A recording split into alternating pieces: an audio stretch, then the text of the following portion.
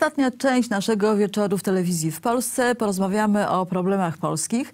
E, Witam pana prezesa Cezarego Kaźmierczaka, prezesa Związku Pracodawców i Przedsiębiorców. Dobry wieczór panu. Dobry wieczór.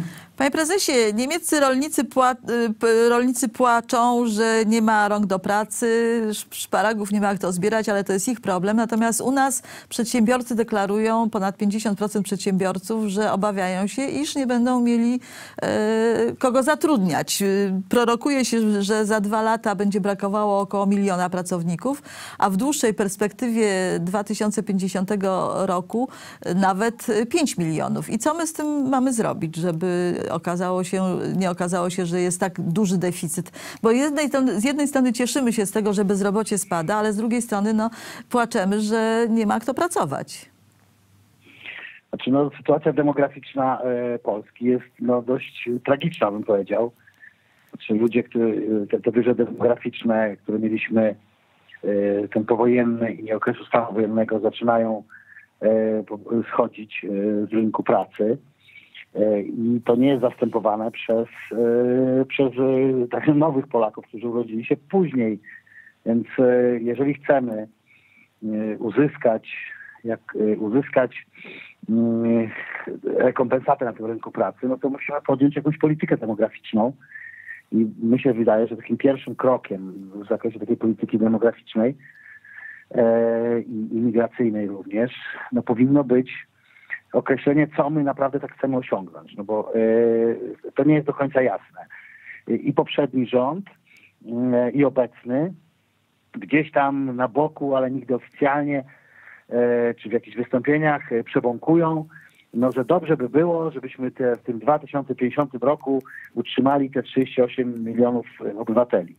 No to, to trochę słabo wygląda, więc my powinniśmy się przede wszystkim zdecydować, czy my chcemy być takim średniakiem europejskim, e, jakim jesteśmy, czy chcemy być e, silnym państwem europejskim. I silne państwo europejskie to oznacza 50-60 milionów ludzi, E, I ja jestem przekonany, że jest to możliwe do osiągnięcia e, w tym 2050 roku przez e, kilka działań. To znaczy pierwsze, to jest bardzo agresywna polityka demograficzna e, rządu, e, żeby Polki zechciały mm, rodzić drugie dziecko, żeby takim standardem minimum stało się 2 plus 2, a, a najbardziej optymalne, żeby to było 2 plus 3 i tutaj jest dość dobrze zidentyfikowane, y, dlaczego Polki nie chcą rodzić tego drugiego dziecka i tak dalej, i tak dalej. To wynika głównie y, z niskiego poczucia bezpieczeństwa, z niskiego, y, niskiej jakości usług publicznych y, w zakresie opieki tam nad dziećmi, czy przedszkola, lekarz i tak dalej, i tak dalej.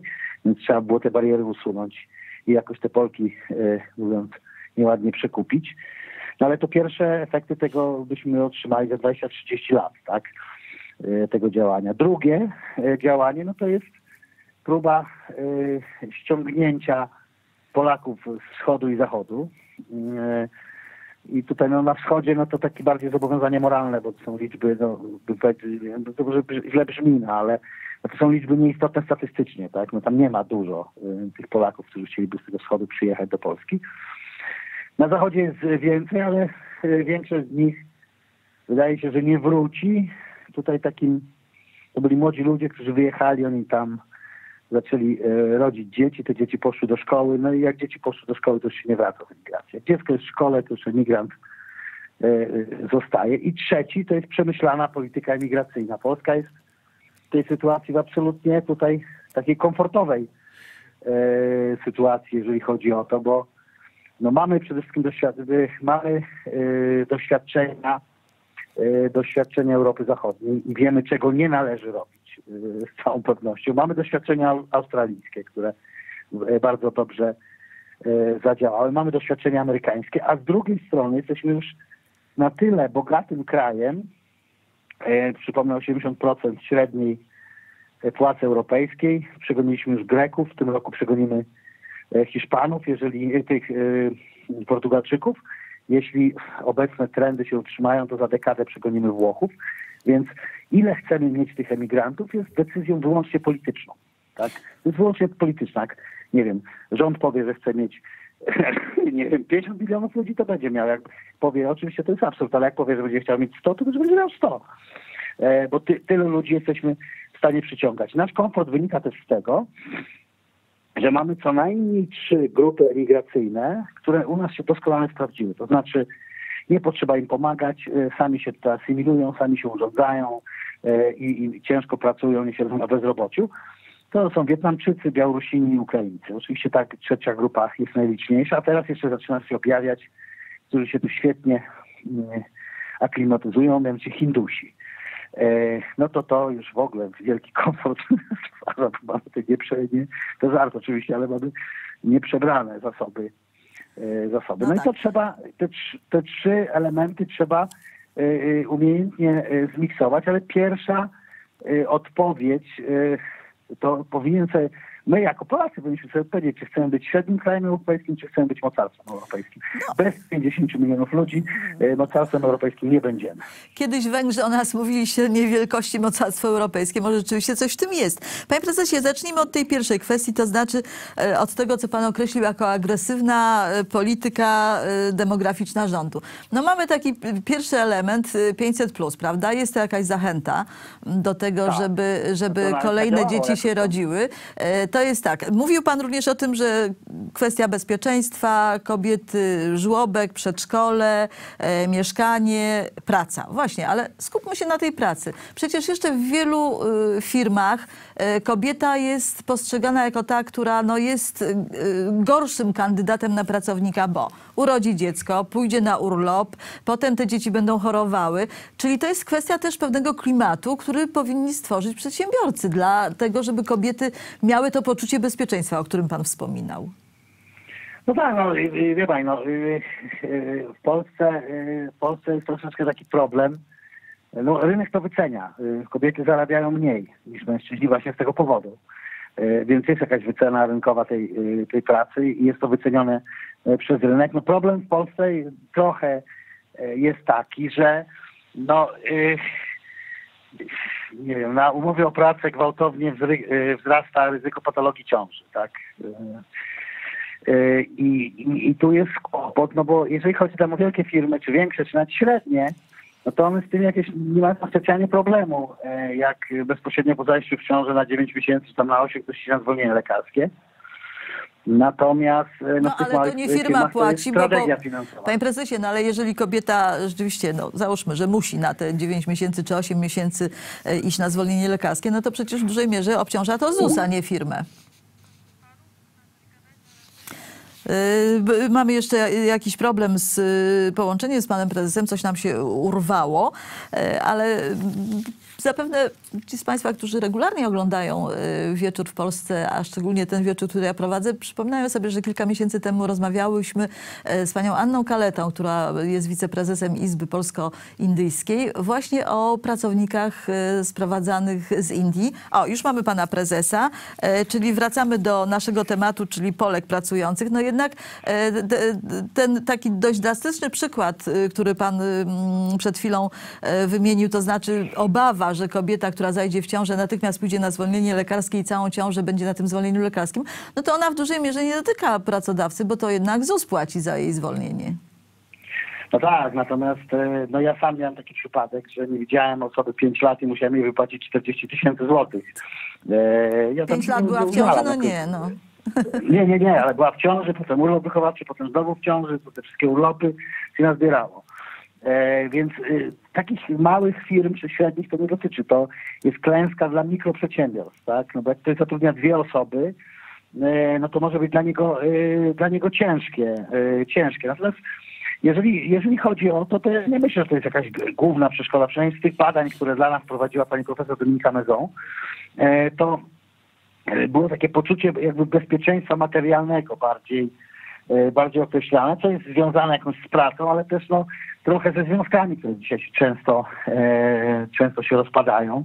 I to jest tych szereg przyczyn i one są dość złożone. Do tego tylko i wyłącznie e, do winy pracodawców nie sprowadzą, chociaż oczywiście oni nie są jakby też bez winy, tak? Natomiast no, ja, o ile jestem w stanie stanąć y, na czele y, protestu kobiet y, przeciwko działaniom pracodawców w dużych firmach, no to tych małych to jednak bym bronił, bo, no bo dla nich to jest, to jest jednak katastrofa, tak?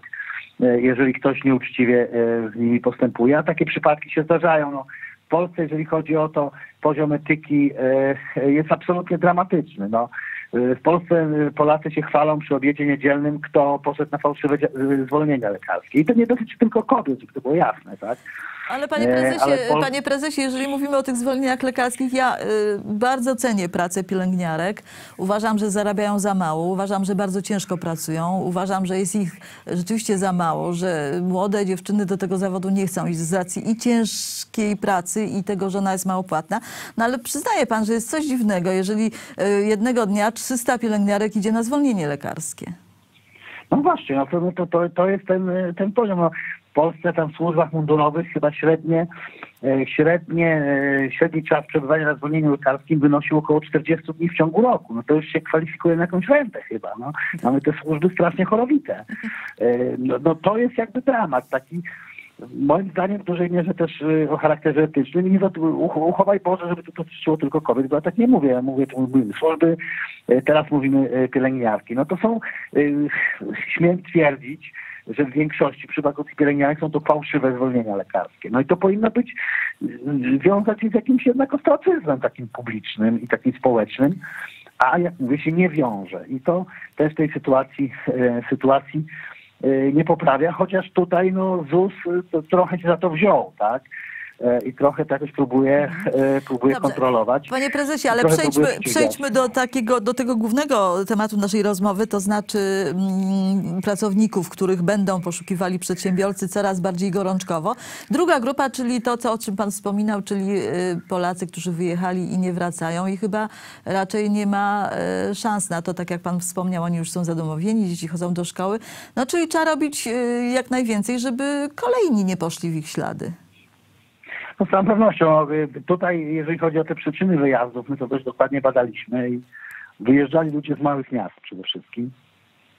I oni, to nie były wyjazdy e, z Polski do Anglii, tylko rozważane było, czy jechać do Warszawy, czy do Birmingham, czy jechać do Wrocławia, czy do Glasgow i tak dalej, i tak dalej. I decydowało o tym tak naprawdę e, głównie trzy czynniki.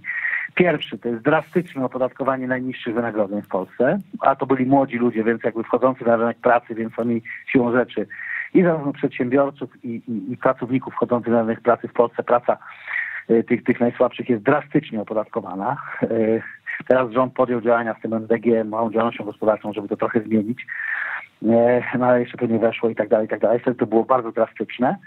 Drugie, porównanie ceny wynajmu mieszkań w stosunku do zarobków, jeżeli chodzi o Wrocław, Warszawę, czy Birmingham, czy jakieś Coventry, tak?